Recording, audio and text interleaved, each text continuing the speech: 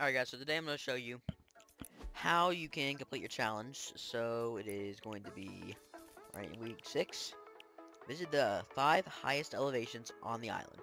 This is a free challenge, so you don't have to have the battle pass to do it. So well, let's get into it. So first, we are going to go into on top of Polar. Top of Polar, it's going to be 170 meters up, and it's going to be right on top of the main castle.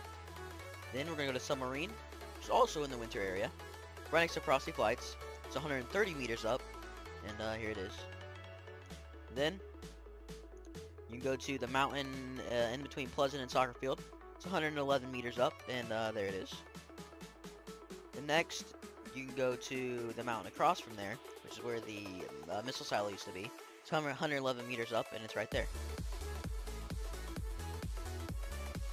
Lastly, you go on top of the volcano, it's the highest point at Fortnite. It's 172 meters up, and it's right there. Thanks for watching, guys, and uh, see you in the next video.